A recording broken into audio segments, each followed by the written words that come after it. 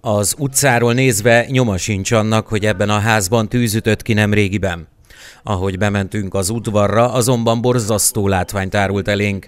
A tető egy része teljesen megsemmisült, az előtér, a középső szoba és a konyha pedig teljesen kiégett a tűzben. Kigyulladt egy körülbelül 70 négyzetméter alapterületű lakóépület zagyvarékosan a külső alkotmány utcában.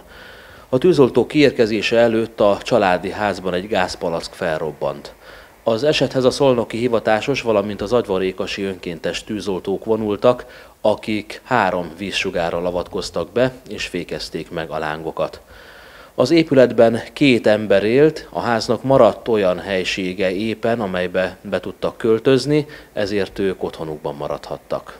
Ott jártunkkor az idős pár mutatta meg stábunknak a kárt. Az udvaron összeégett bútorokat és elektronikai eszközöket láttunk.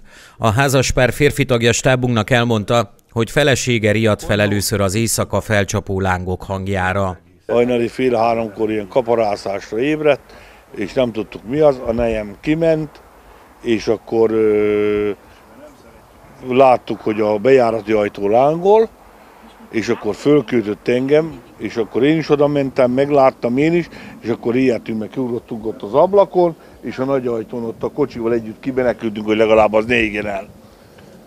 Mert nagy lángok voltak, meg minden. A bejáratra nem tudtunk arra menekülni, az udvar felől jött a tűz. A férfi hozzátette, hogy a teraszról terjedhettek át a lángok a házra. A tűzoltók hamar kiértek és eloltották a tüzet, de sajnos óriási a kár. Egy helyiségben tudják meghúzni magukat, ami nem égett le. 40 év munkája ment a kárba és lett a tűzmartaléka. Azonban ez sem megoldás, főleg így, hogy jön a tél és hidegebbre fordul az idő. A szomszédok is döbbenten nézték a lángoló házat.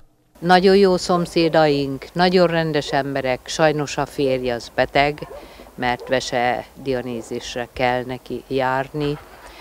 A feleségnek most szűnt meg a munkahelye sajnos, és annyit tudok, hogy olyan egy óra tájban valaki észrevette erre környéken, ők meg akkor menekültek ki, amikor az a valaki zörgetett vagy kiabált neki. Nem maradt semmiük semmiük nem maradt. Az idős pár óriási bajban van, ideiglenesen kénytelenek meghúzni magukat a nagy szobában, de ez nem megoldás. Albérletet keresnek jelenleg. A településen összefogás indult azért, hogy segítsenek nekik. Minden felajánlás szívesen fogadnak, legyen az pénzügyi segítség, ruhanemű, elektronikai gépek vagy egyéb más felajánlás. Szepesiné Jurás Zsuzsanna bankszámla száma 11 600 006 kötőjel 00 00 00 00 kötőjel 95 34 16 31.